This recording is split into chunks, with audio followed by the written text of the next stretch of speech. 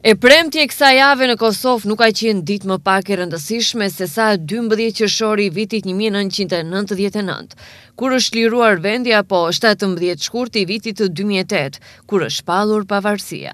Kjo pasi që në një seancë të Kuvendit të Kosovës është votuar për shndërrimin e Forcës së Sigurisë së Kosovës në ushtri. Gjithashtu Kosova për herë të parë është bërë me Ministri të Mbrojtjes. Deputetët e Kuvendit të Kosovës, pozitë dhe opozitë, për herë të parë janë bërë bashkë duke votuar kështu me 106 vota pro projektligjin për Ministrinë e Mbrojtjes. Nga sot, Ministri i FSK-së Rustem Berisha, me votimin e këtij projektligji, do të jetë Ministër i Mbrojtjes. Deputetët e Kuvendit të Kosovës kanë votuar ligjin e dytë për transformimin e FSK-së në ushtri.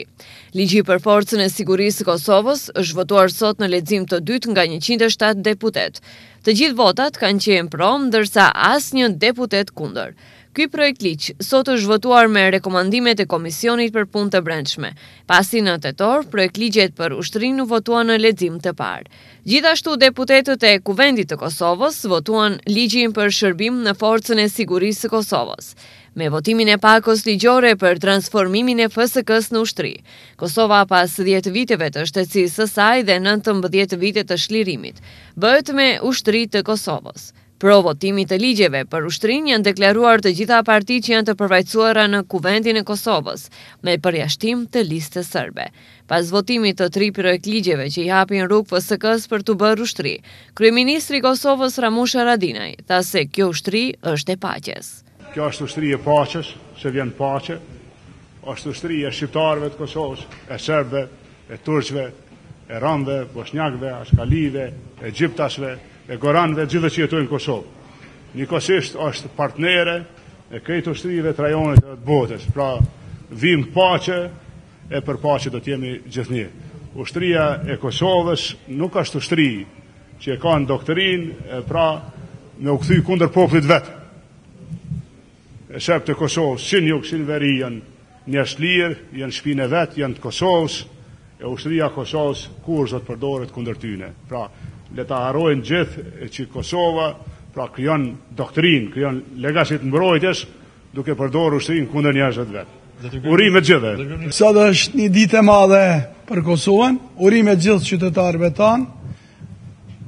Kemi krijuar ushtrinë e Kosovës, ushtrinë e partneritetit me NATO-n, me vendet perëndimore, Shtetet e Bashkuara të Amerikës. E falenderojmë Shtetet e Bashkuara të Amerikës në mënyrë të veçantë dhe partnerët tanë perëndimor.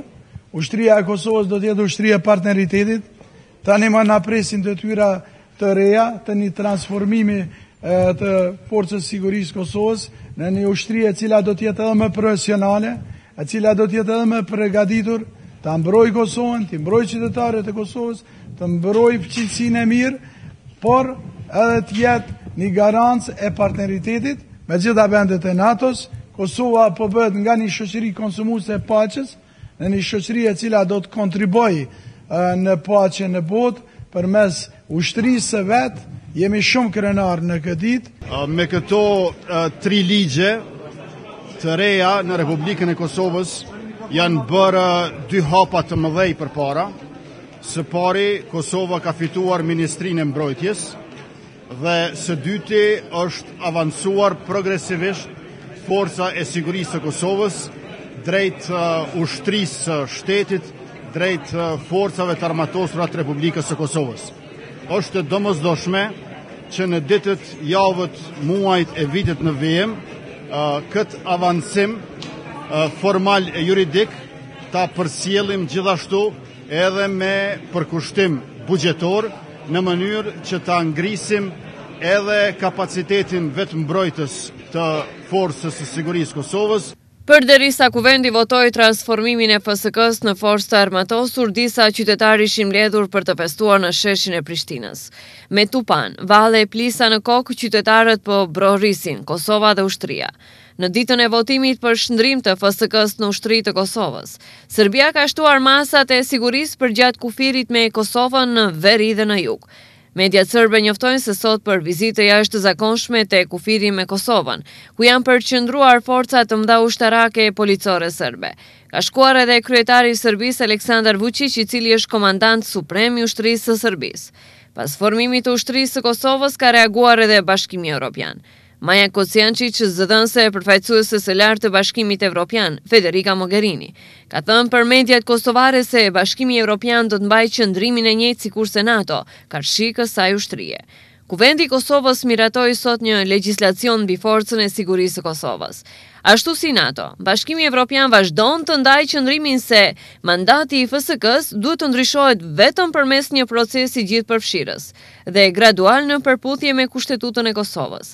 Bashkimi Evropian pret që Kosova të vazhdojë të mbajë detyrimet e saj sipas marrëveshjes së parë të përfunduar në Bruksel në prill dy mijë e trembëdhjetë dhe aranzhimet e saj të sigurisë, ka thënë Kocijançiç.